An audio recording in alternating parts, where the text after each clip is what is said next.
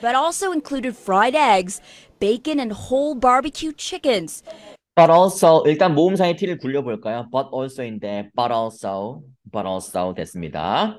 자, 한번 적어 적어보죠. 우리 또첫 달이니까 또첫 달이신 분들도 있으니까.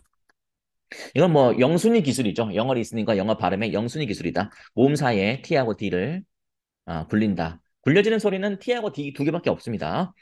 그렇기 때문에 아, 그렇기 때문에 but also가 but also 이렇게 되는 거죠. 그 다음에 여기도 마찬가지. included 그죠? 모음사의 D니까 굴려지죠. 그러니까 오렌지색 D는 굴리시고 초록색 D는 멈추시면 되죠.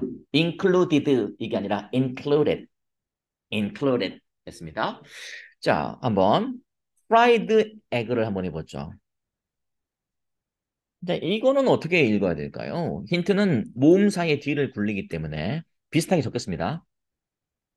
fried eggs. fried eggs. 맞죠? 맞죠? fried, fried eggs. 그렇게 할 필요 없어요. fried eggs. 왜냐면 모음사의 D가 굴려지니까. 이제 한번 발음 껴보세요. 이해되시죠? 모음사의 D를 굴리니까 fried eggs.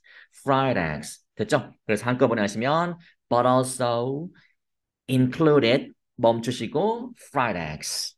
but also included fried eggs. But also included fried eggs. 當佢冇寫。but also included fried eggs, but also included fried eggs. but also included fried eggs, but also included fried eggs. but also included fried eggs, but also included fried eggs. 다시 한번. but also included fried eggs, but also included fried eggs. 됐습니다. but also included fried eggs, but also included fried eggs. but also included fried eggs, but also included fried eggs. 이거 들리셔야 됩니다. but also included fried eggs, but also included fried eggs. 역시 모 음사의 D를 굴리는 기술은 리스닝에 적합한 기술이죠. fried eggs 들리셔야 됩니다.